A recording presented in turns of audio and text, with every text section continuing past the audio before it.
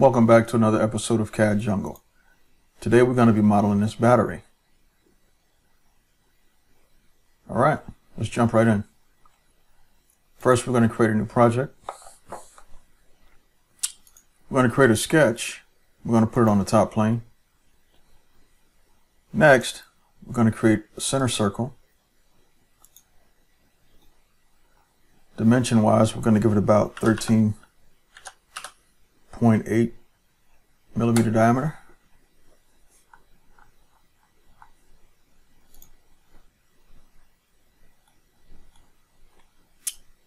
We're going to create another center circle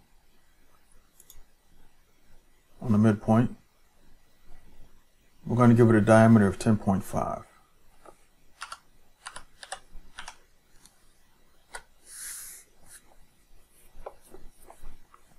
What we're going to do next is extrude both profiles. Hit the E key. Select both profiles. I'm going to extrude in a positive direction. We're going to make this about 48 millimeters. There.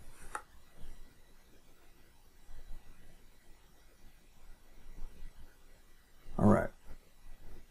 What we're going to do now is turn the previous sketch back on because we're going to be extruding this profile in the negative direction. I want to give it a negative 0.1. We're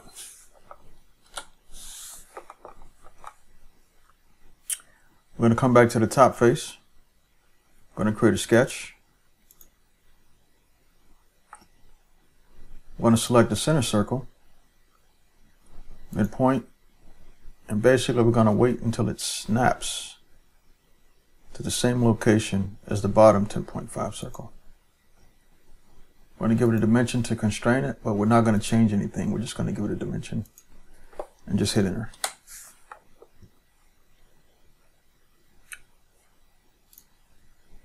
We're going to create an additional center point circle. We're going to give it about a 5.2 millimeter diameter.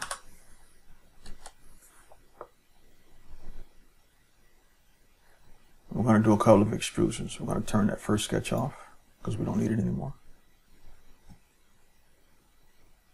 So you want to select this profile and hit the E key. We're going to extrude downward in the negative direction.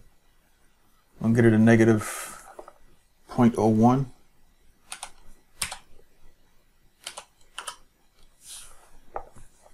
And it's going to be cut instead of join. Click OK.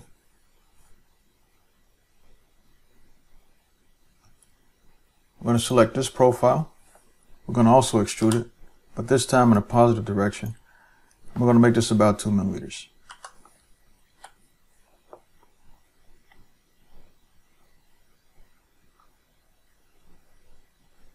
Okay, the battery is forming up nicely. Next thing we're going to do is give it a set of fillets. And what I like to do is, if possible, sometimes it's not practical, however, in this case, it's not much of a big deal, but We'll make a couple of fillets using one uh, in one step actually. So first things first, we're going to select this edge and give it about a three millimeter fillet.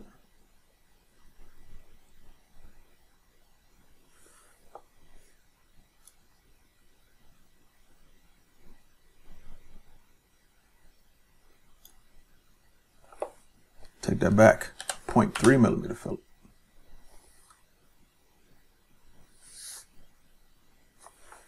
The plus symbol.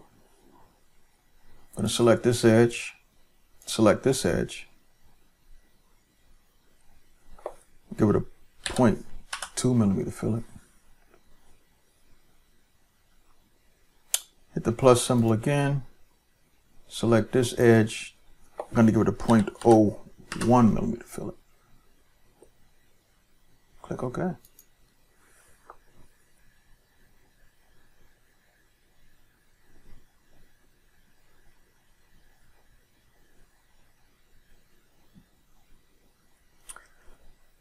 Okay, now it's time for us to add the decals in color. So what I find that if I try to add a decal that wraps around, I start to get like frayed and jagged edges. It becomes distorted. So what I did was I created my own appearance by taking a decal and inserting it as, as an image. And by doing that, it makes it seem a lot more seamless.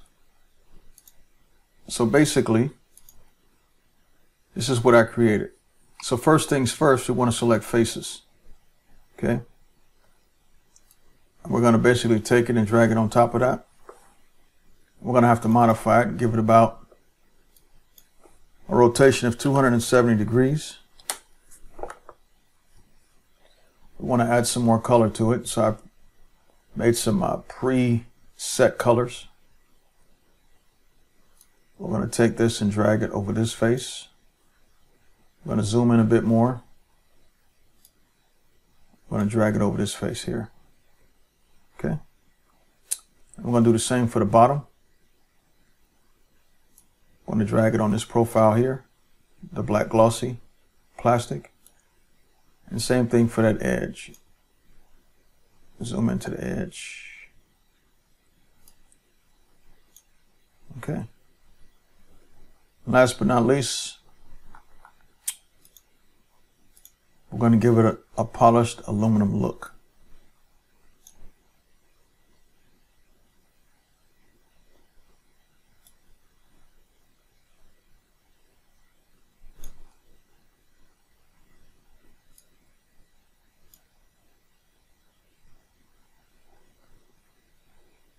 I'm going to do the same to the top.